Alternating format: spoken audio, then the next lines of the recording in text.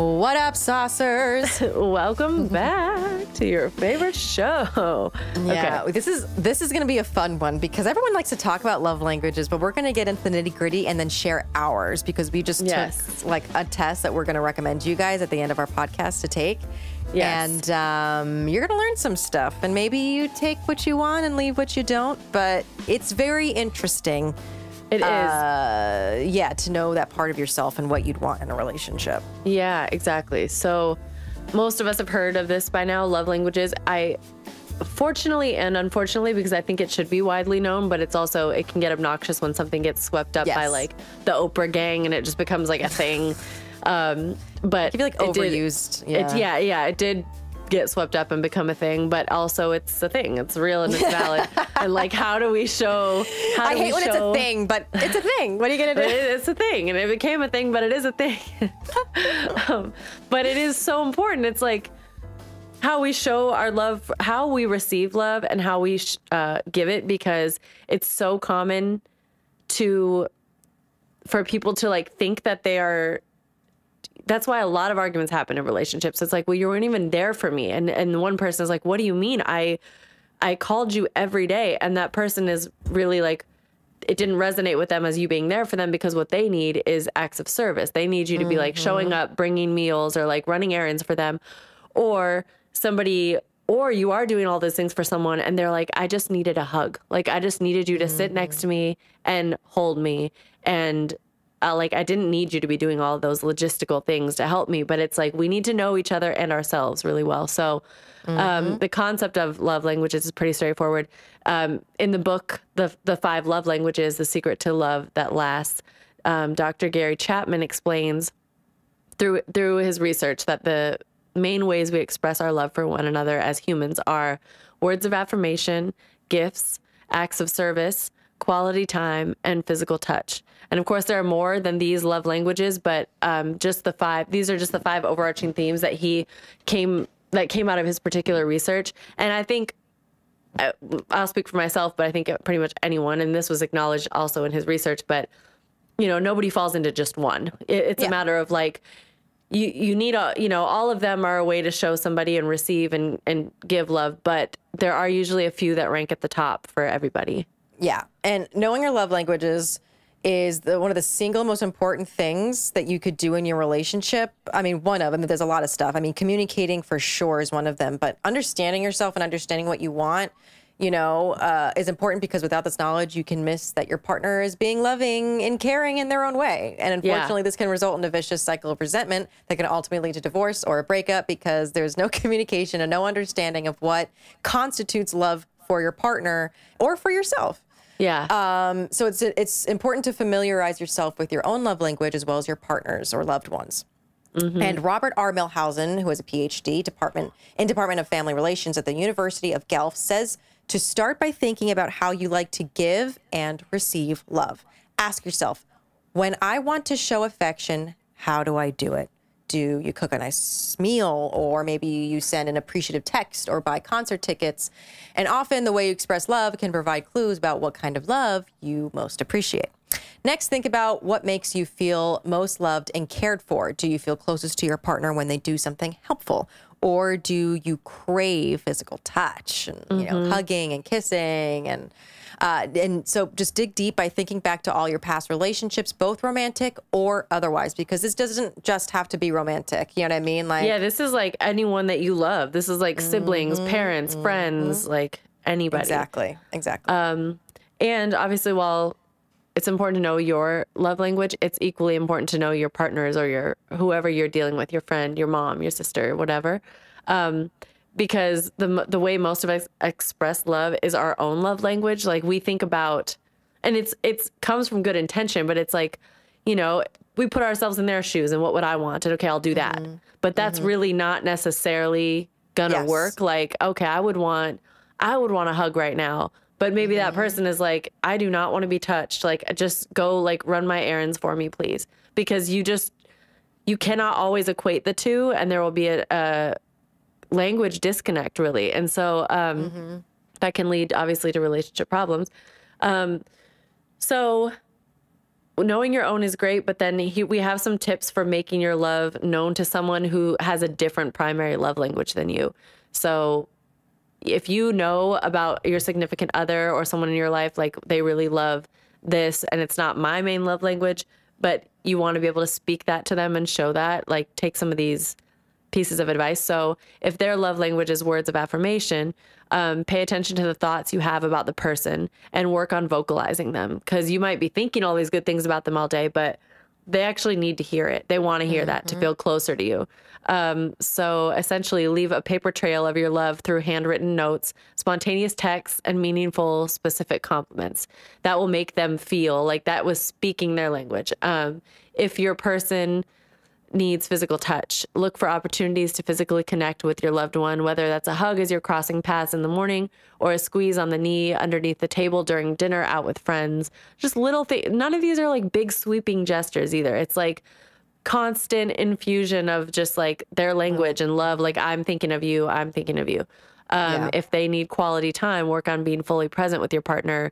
Um, the biggest barrier to quality time is the use of cell phones. People whose love language is quality time will feel hurt if the partner is always checking their phone or half listening while doing other things. Other tips include um, starting a shared passion or hobby together or making long walks a staple in the routine.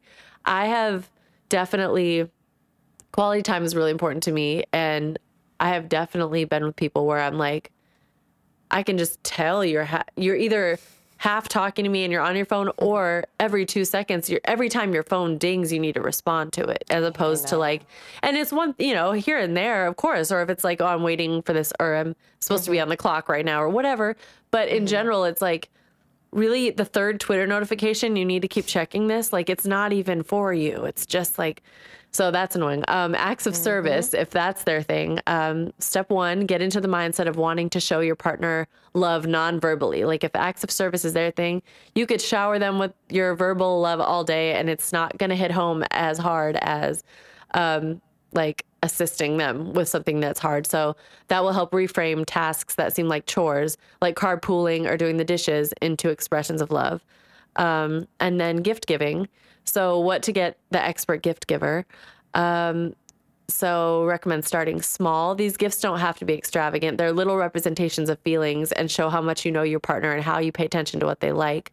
Another alternative, um, you can't go wrong with the usual flowers and chocolate. But I do think that, like, this one gets a bad rep for people when it's like, oh, my language, my love language is gifts, and it just comes across as like, just give me things, give me things. Yeah, yeah. But it really like to its core, in the sense of like when it's a little thing. Honestly, if somebody comes home to be expensive. from like 7-Eleven and brings me a little bag of Smartfood cheddar, white cheddar popcorn, because mm-hmm. they know I love that.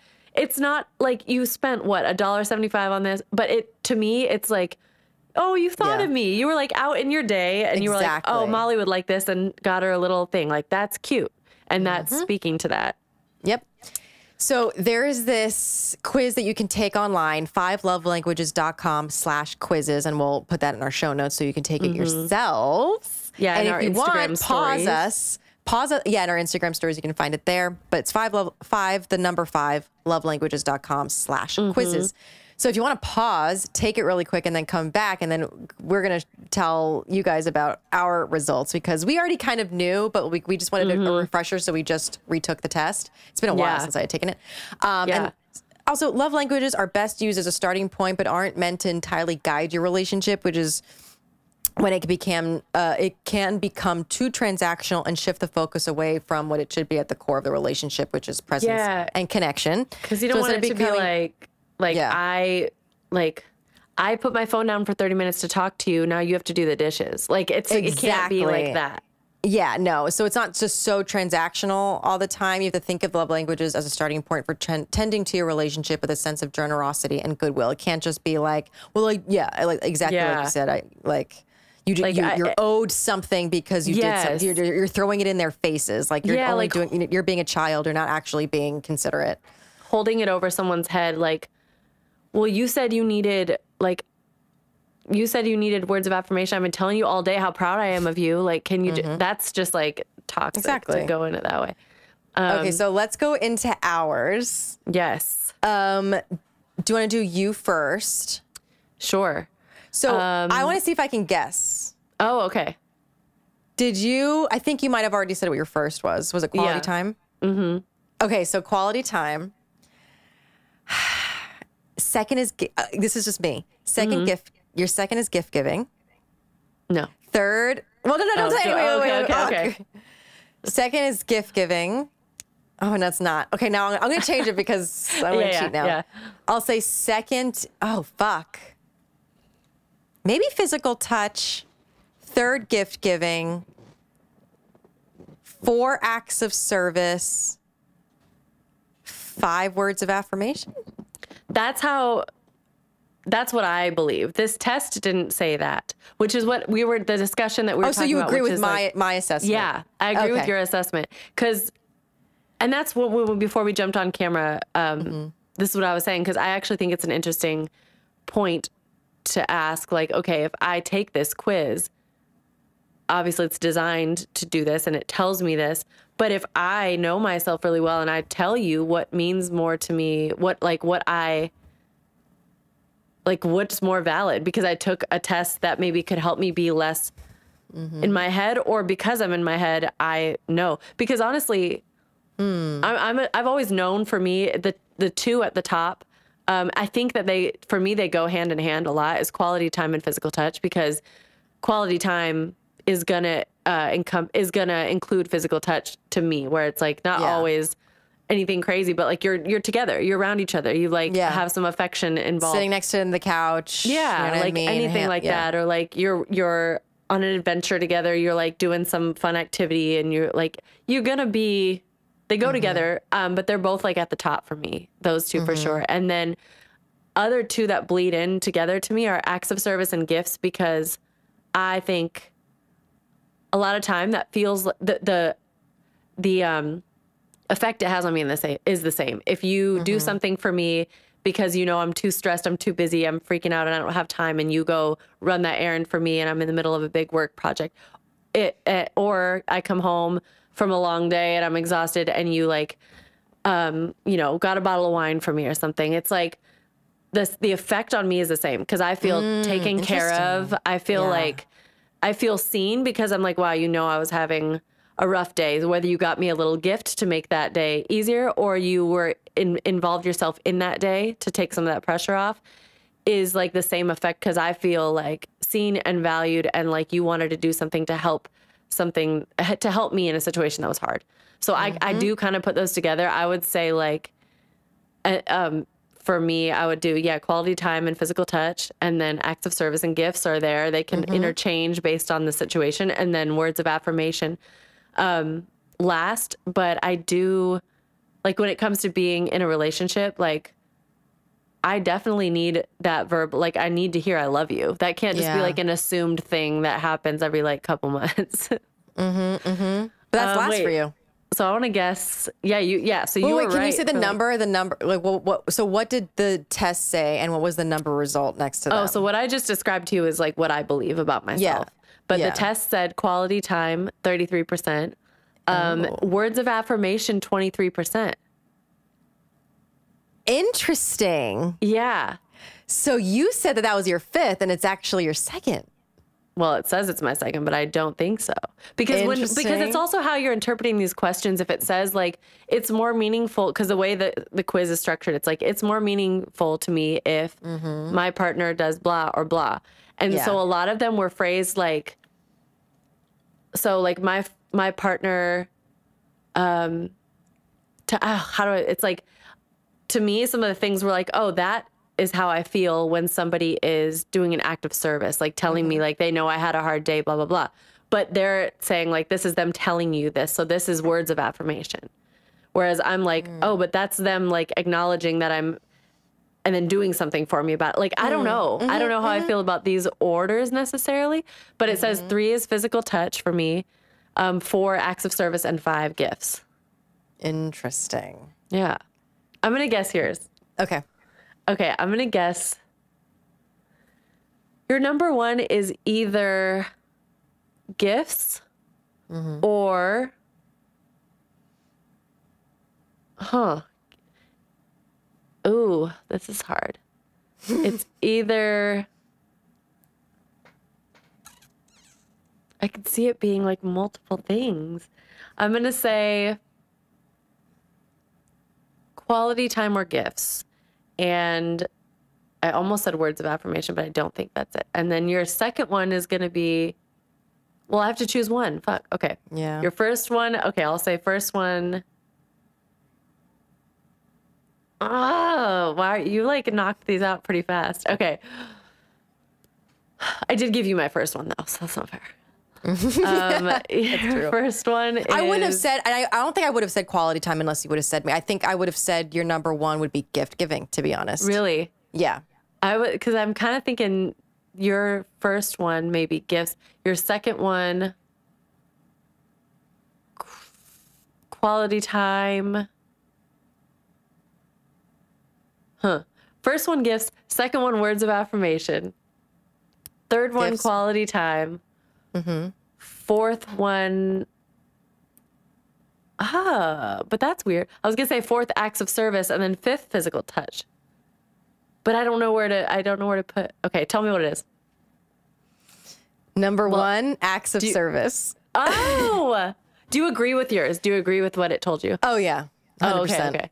I agree. Um, I already knew acts of service was my number one. I mean, think about it. Like Ryan helping me with the podcast, Mm-hmm. Yeah. Ryan helping me with cooking. Like I, you're right. That is how you show me like I am a lazy bitch. Okay, like I please don't make me clean. Please don't make me cook. I'll do it. Don't I'm don't, don't get me wrong. I will still do those things. I won't just force all of it on Ryan. But he takes he takes it and he does it well. Yeah, He- yeah, He that, that's how he shows his love to me yeah. and I love it. Um, my second, you you got a lot of other stuff was words of affirmation. Ah, okay, okay. So you got that right. So an acts of service by thirty seven percent. So it was a pretty wide margin there. yeah, A words of affirmation is twenty seven percent. That's my 2nd Mm-hmm. Like I, you know, just to remind me, just yeah, it's that, that I'm proud of you. Like you're doing. Like I just need that kind of reminder because I get in my head and I have like yeah. um I'll I'll be like my own worst enemy when it comes to judgment and like stopping myself. So I need Right. someone that I trust to be in there like, no, you can do this, you know? Yeah. My third is quality time. I think you got that right as well. My third is quality time. Um at 23%, so not too far after words of affirmation. Uh-huh. Um yeah, quality time. It's so funny because Ryan's always on his phone. Yeah. And it's only third for me, but it's still it's third, so I Yeah. still care. But Right. it's not the, a deal breaker. But I'm still just like Ryan. Holy shit! Like he's just on Facebook, like Marketplace. You know what I mean? like Oh, it's yeah, like yeah. not serious. Right. Um, my fourth at ten percent is receiving gifts. Ah, okay. So I was kind of So close. it says receiving. Yeah. So like, yeah, you were pretty. or close. I wasn't close on gifts, but I mean, I put physical touch as five also. Exactly. But gifts, I had gifts and acts of service. I flipped. Yeah, it's so interesting. Like I, I still love getting. Don't get me wrong. It's like even Mm-hmm. though it's at fourth, I- to ten percent, I still love getting gifts, but it's not like my number one. And physical touch at three percent. It's so funny. like we could so never be married.